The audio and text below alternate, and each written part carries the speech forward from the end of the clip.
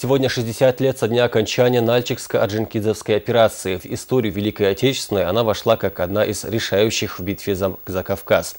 17 дней и ночей северная группа войск Закавказского фронта сдерживала фашистов. С 25 октября после мощной авиационной и артподготовки немецкие и румынские войска перешли в наступление. Прорвав оборону 37-й армии, противник занял сначала Нальчик, а после и пригород Орджоникидзе-Гизель.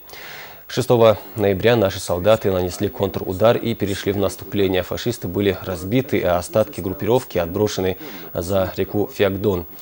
В результате было захвачено 140 танков и 70 орудий. Немцы потеряли около э, только убитыми свыше 5000 человек. 12 ноября операция завершилась абсолютной победой советских войск. Так сорвалась последняя попытка фашистов прорваться к бакинской и грузинской нефти.